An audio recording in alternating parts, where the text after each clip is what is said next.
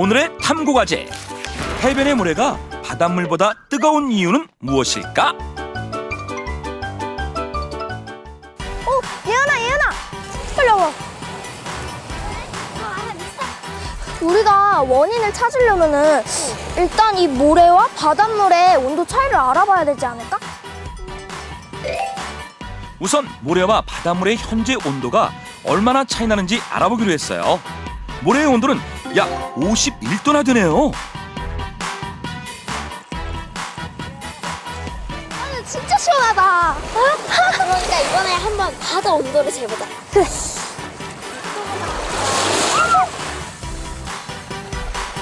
바닷물 온도는 27.3도예요. 모래와 바닷물의 온도 차는 거의 두 배. 왜 이런 차이가 생기는 걸까요? 바닷물은 시원한데 여기 모래사장은 왜 이렇게 뜨거운지 알아?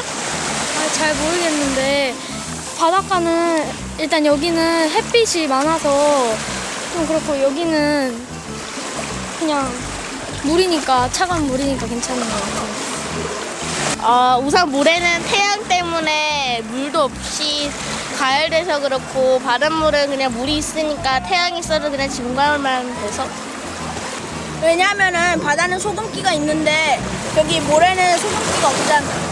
그래서 그런 거야. 어, 근데 사람들 말처럼 햇빛이랑 소금 때문일까?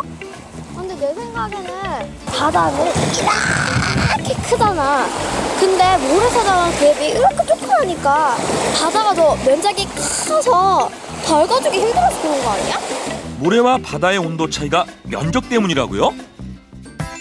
예운대원의 추측이 맞는지 실험을 통해 알아보기로 했어요. 빨리 넣어. 같은 양의 바닷물과 모래를 같은 시간 동안 각각 얼만큼 온도가 올라가는지 확인해보자.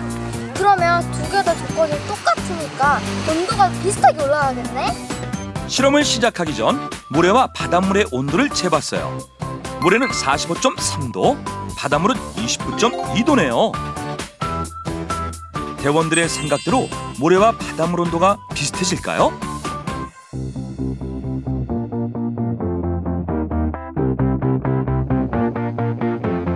먼저 모래의 온도를 재보는데 어디 보자 55.6도? 원래 온도보다 10.3도 올랐네요. 모래 온도가 10.3도나 오르는 동안 바닷물 온도는 5.3도밖에 오르지 않았어요. 규런아 진짜 신기하다. 그러게? 물이 5도 상승했으면 모래도 같이 5도가 상승해야 되는데 모래는 5도가 아닌 10도 가까이 올랐잖아. 아 그런데 바닷물이랑 그러면 모래는 어떤 차이가 있는 거지? 글쎄.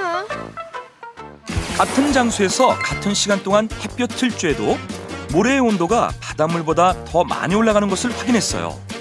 모래와 바닷물의 어떤 점이 이러한 결과를 만드는 걸까요?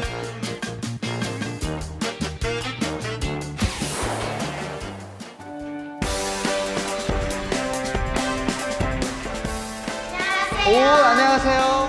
선생님, 모래가 바닷물보다 뜨거운 이유를 알고 싶어요. 교수님, 예. 저희가 바닷가를 갔다 왔는데요. 일정한 시간 동안 똑같은 햇빛을 받은 바닷가와 예. 해변은 예. 왜그 물과 모래의 온도가 다른 거예요? 아, 그것은요.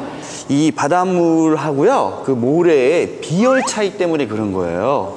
비열이요? 비열이 정확하게 뭐예요? 예. 비열이라는 것은요.